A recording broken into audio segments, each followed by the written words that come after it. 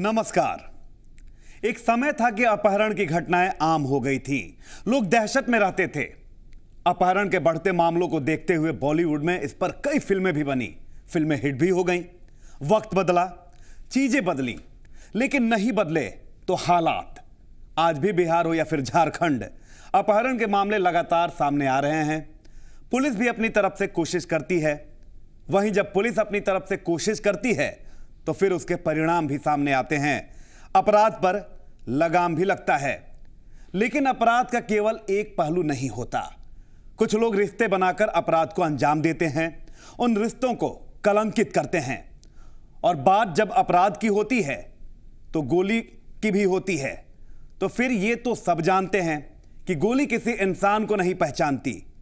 वो तो जब चलती है तो सिर्फ़ मातम ही लाती है। और वही गोली जब कानून के हाथ से चलती है तो माजरा कुछ और होता है। तो चलिए इन्हीं सब बातों के साथ शुरू करते हैं पुरवैया क्राइम स्पेशल।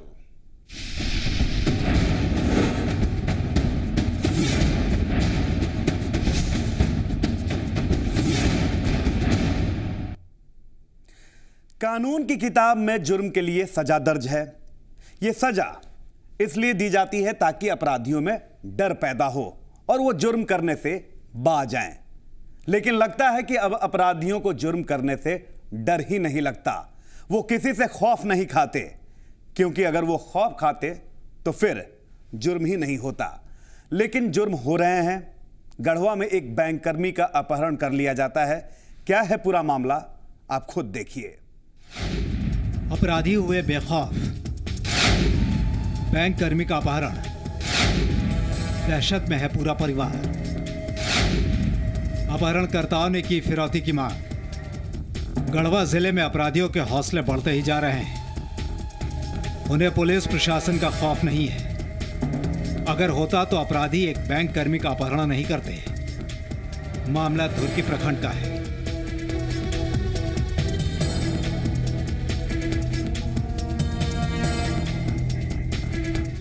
ये परिवार सदमे में है। और हो भी क्यों ना? इस परिवार का एक सदस्य बीती रात से गायब है। अभी तक जैनिल पांडे का कोई पता नहीं चल सका है। जैनिल पांडे वनांचल ग्रामीण बैंक में कैशियर का काम करते हैं। ये तस्वीर जैनिल पांडे की है। परिवार वाले दहशत में हैं। पूरे घर में एक अजीब सी खामोशी छाई हुई है। परिवार के लोग कुछ बोलना नहीं चाहते। उन्हें डर है कि अपहरणकर्ता जैनिल पांडे को कुछ नुकसान न पहुँचा दें इस वारदात को तब अंजाम दिया गया था, जब जैनिल पांडे बैंक से अपने घर लौट रहे थे। उनके साथ बैंक का चपरासी भी मौजूद था। रास्ते में अपराधियों ने गनियारी गाँव के पास दोनों का अपहरण कर लिया, लेकिन अपहरणकर्ताओं ने चपरासी के हाथ पैर बांधकर उसे छोड़ दिया और कैशियर जैनिल पांडे को अपने साथ ले गए। चपरासी ने इस मामले की जानकारी पुलिस को दी। तो वही पापा बोले ना पापा बोले कि पिताजी बोले कि आ जाइए यहाँ पे हम मतलब कि चोर के में फंस चुके हैं। और उन्हीं लोग फ़ोन कराए पापा मतलब चंद्र कुमार चाचा के पास। तो वही पैसा कि पैसा इतना जुगाड़ कीजिए रातों रात छुड़ा कर इनको ले जाइए। कब फ़ोन आया था? बारह बजे फ़ोन आया उसके बाद इन लोग पैसा जुगाड़ करते करते भोर हो गया। तो बोले कि जब तक पैसा जुगाड़ नहीं होगा तब तक नहीं छोड़ेंगे। भोर में पैसा इन लोग का हो गया व्यवस्था। उसके बाद इन लोग मतलब कि गए गढ़वा। बोले कि नहीं अभी नहीं छोड़ पाएँगे। फ़ोन ही नहीं आया वहाँ से। जब काफ़ी देर के बाद भी जैनिल घर नहीं पहुँचे तो परिवार वाले काफ़ी चिंतित होने लगे। परिजनों ने बैंक के स्टाफ से पता करना शुरू किया तो पता चला कि अपहरण किया जा चुका है। इतना सुनते ही घर वालों के पैरों के नीचे की ज़मीन खिसक गई। बैंक रोज जाते थे अपना सही समय पर। यहाँ नहीं आने पर हम लोग का पकाहट हुआ। आता पाता लगाए पता लगाने के बाद भी कोई सुराग नहीं मिला, हम बहुत परेशान हुए। इसके बाद रात के 12 बजे घर में फ़ोन की घंटी बजती है। ये फ़ोन अपहरणकर्ताओं का था। सूत्रों की माने तो अपहरणकर्ताओं ने फ़ोन पर फिरौती की मांग की, लेकिन परिवार वाले कुछ भी बोलने से कतरा रहे हैं।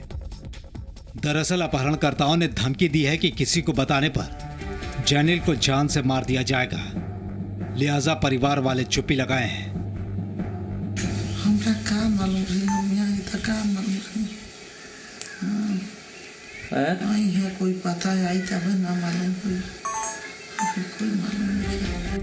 घटना की जानकारी मिलते ही पुलिस हरकत में आ जाती है। पुलिस ने तुरंत छापेमारी शुरू कर दी।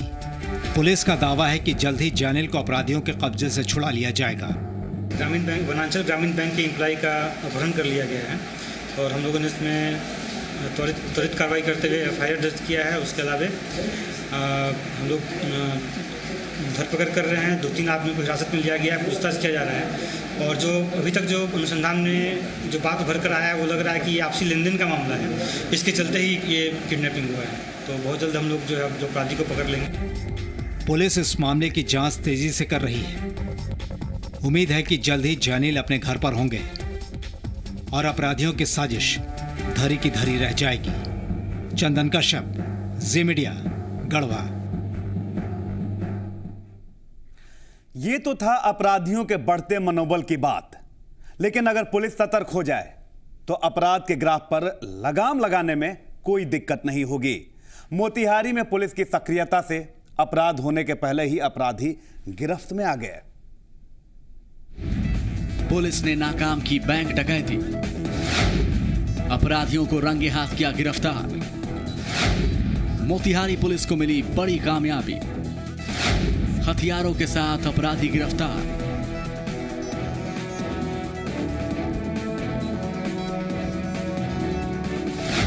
पुलिस की हिरासत में दिख रहे इन अपराधियों के इरादे खतरनाक थे। इन अपराधियों ने बैंक को अपना निशाना बनाया था। लेकिन पुलिस अपराधी और बैंक के बीच में आ गई और अपराधियों के इरादे धरे की धरे रह गए।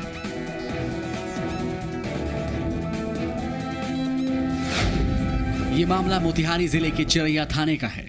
इलाके के चिरैया बाज़ार में स्टेट बैंक ऑफ़ इंडिया की ब्रांच है। बैंक अपराधियों के निशाने पर था।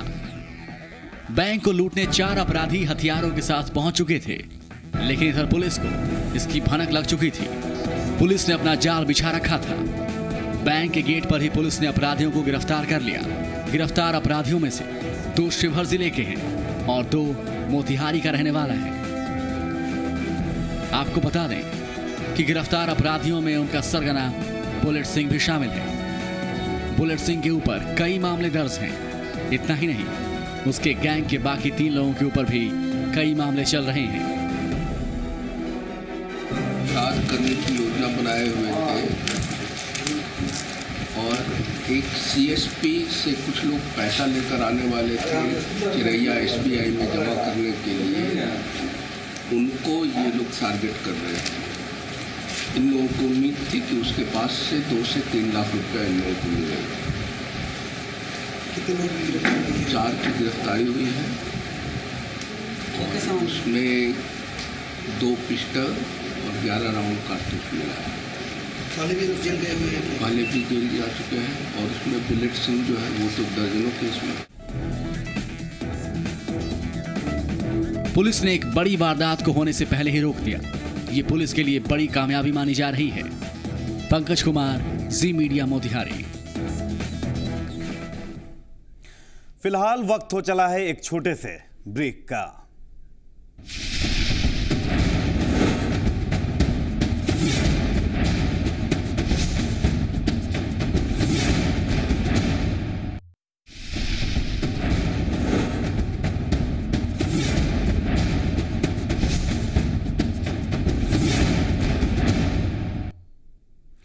ब्रेक के बाद पुरवैया क्राइम स्पेशल में स्वागत है आपका। गोलियाँ चलती हैं दोनों तरफ़ से। यह पुलिस और नक्सली के बीच मुठभेड़ थी, लेकिन एक गोली का शिकार गाँव वाला हो जाता है। पल भर में ही उसकी दुनिया मिट जाती है, खत्म हो जाती है। लेकिन अब सवाल यह है कि खाकी और लाल आतंक के बीच मुठभेड़ में मारे गए व्यक्ति का आखिरकार क्या कसूर था? गए थे ऐसा तो हम लोग पता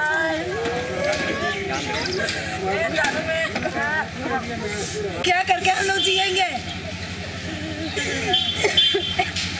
गोली लगा थे वहाँ पे ये उसका खुद दरवाज़ा में गोली लगा है कैसे क्या क्या? हुआ उसको हम नहीं जानेंगे क्या हुआ क्या था क्या क्या हुआ उसको भी नहीं जानेंगे लेकिन ये काम करके आए हैंड पंप में धोआने गए। वहाँ से आ रहे थे अब दरवाजे में खड़े थे वहीं पर गोली लगा इसको। किसका गोली? किसका गोली उसको नहीं जानेंगे। किसका गोली? कब देखने जाएगा सर हम उसको देखने गए थे हम लोग। क्या हो क्या रहा था वहाँ पर? कुछ नहीं पता हम लोगों को। गोलियाँ चल गोलियाँ चल रही थी वहाँ पर? गोलियाँ चल रही थी पूरा। उसी में इनको गोली लगी है। हम लोग आवाज़ सुनाई दिया किसका गोली चला? खैर वहाँ मैदान में गोली लग जाती तो खैर कोई बात नहीं। उसको दरवाज़ा में गोली लगा है। ये दर्द है उस महिला का जिसके परिवार का एक शख्स इस दुनिया को छोड़ गया अब वो कभी नहीं आएगा। लेकिन सवाल उसकी रुखसती को लेकर है। वो शख्स एक गोली का निशाना बनता है और फिर उसकी मौत हो जाती है। परिवार में मातम छा जाता है। ये वाकया है गुमला ज़िले के चैनपुर थाना इलाके का।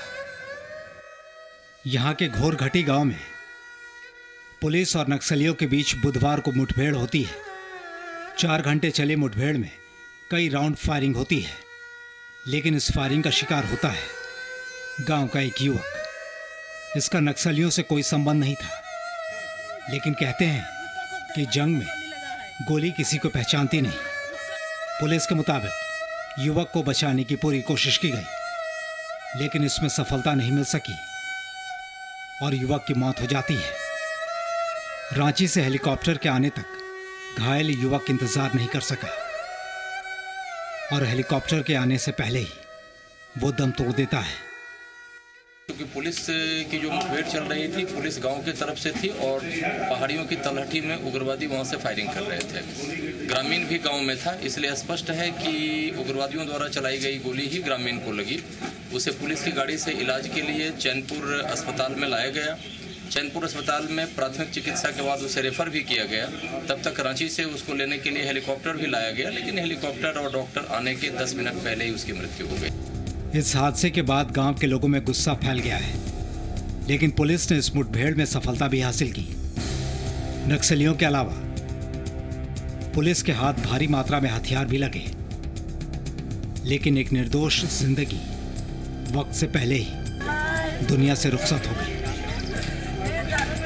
मुकेश कुमार सोनी, जी मीडिया, गुमला। हालाँकि इस मुठभेड़ में एक गाँव वाले की मौत हो जाती है, लेकिन पुलिस के हाथ सफलता भी लगती है। पुलिस ने मुठभेड़ के बाद तीन नक्सलियों को गिरफ़्तार किया है। इनमें वो नक्सली भी शामिल हैं, जिसके ऊपर सरकार ने 10 लाख रुपए का इनाम घोषित किया है।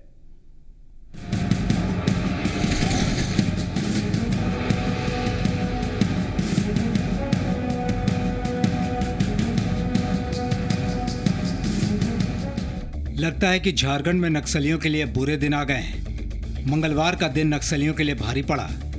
पुलिस के साथ मुठभेड़ में बारह नक्सली मारे गए तो वहीं बुधवार का दिन भी नक्सलियों के लिए बुरा ही रहा। गुमला ज़िले के चैनपुर थाना इलाके के गोरघटी गाँव में पुलिस और नक्सलियों के बीच मुठभेड़ हुई। ये मुठभेड़ करीब चार घंटे तक चली। पुलिस को इस मुठभेड़ के बाद भारी सफलता हाथ लगी। पुलिस ने 10 लाख के इनामी नक्सली को गिरफ़्तार करने में सफलता पाई। पुलिस के इस ऑपरेशन में तीन नक्सली हाथ लगे। गिरफ़्तार नक्सलियों में sub zonal commander Prasad Lakra उर्फ़ Ashok ji भी शामिल हैं। लकड़ा की गिरफ्तारी पुलिस के लिए बड़ी कामयाबी मानी जा रही है। सरकार ने उसके ऊपर 10 लाख का इनाम घोषित कर रखा था। पुलिस ने नक्सलियों के पास से भारी मात्रा में हथियार भी बरामद किए। बरामद हथियारों में छह राइफल, भारी मात्रा में कारतूस, एक हैंड ग्रेनेड प्रेशर बम और नक्सली साहित्य भी बरामद किए गए हैं। जिसमें तीन उग्रवादी गिरफ़्तार किए गए। जोनल कमांडर जिस पर 10 लाख रुपए से ऊपर का रिवार्ड है, प्रसाद लकड़ा, उसके साथ फ्रांसिस टोपो और जीवन लकड़ा तीन की गिरफ्तारी हुई। छह रेगुलर हथियार बरामद किए गए राइफल जिसमें पुलिस की लूटी गई राइफलें भी हैं। 300 राउंड गोलियाँ भी बरामद की गई। दर्जन से अधिक आईडी बरामद किए गए हैं, हैंड ग्रेनेड बरामद किए गए हैं। ये सारी कार्रवाई एक छोटी सी टीम ने काफ़ी बहादुरी से की। पुलिस को मंगलवार के दिन भी भारी सफलता हाथ लगी थी। सोमवार की रात को पुलिस और नक्सलियों के बीच मुठभेड़ हुई थी। इस मुठभेड़ में नक्सलियों का जोनल कमांडर, आर के जी उर्फ़ डॉक्टर मारा गया था। इसके साथ बारह नक्सली मारे गए थे। पुलिस के लिए सफलता को एक बड़ी उपलब्धि माना गया। सूबे के मुख्यमंत्री और पुलिस के मुखिया ने भी इस सफलता पर ज़िले के पुलिस कर्मियों को बधाई दी। इस घटना के अगले ही दिन पुलिस को गुमला में सफलता मिलती है। दस लाख का इनामी नक्सली गिरफ़्तार होता है। लेकिन लगातार मिल रही सफलता के बाद अब पुलिस को सावधान रहने की ज़रूरत है। ज़ाहिर है, अब नक्सली इसके बाद पलटवार करेंगे। वो पुलिस बल को अपना निशाना बना सकते हैं। लिहाजा ज़रूरत है ज़्यादा सावधान रहने की। मुकेश कुमार सोनी, जी मीडिया, गुमला। रिश्तों की मर्यादा को किसने किया तार तार दिखाएँगे भी, लेकिन एक छोटे से ब्रेक के बाद।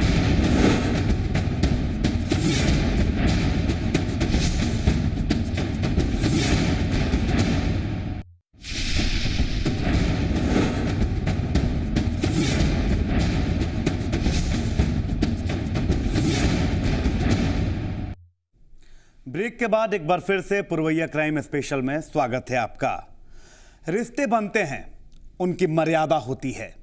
लेकिन फिर रिश्ते बिगड़ने भी लगते हैं, मर्यादाएँ टूटने लगती हैं और दरकने लगता है लोगों का विश्वास। और जब रिश्तों की मर्यादा पवित्र हो, वो गुरु और शिष्य का हो और वो मर्यादा और रिश्ते को तार करता हो तो फिर भरोसा भी डिगने लगता है।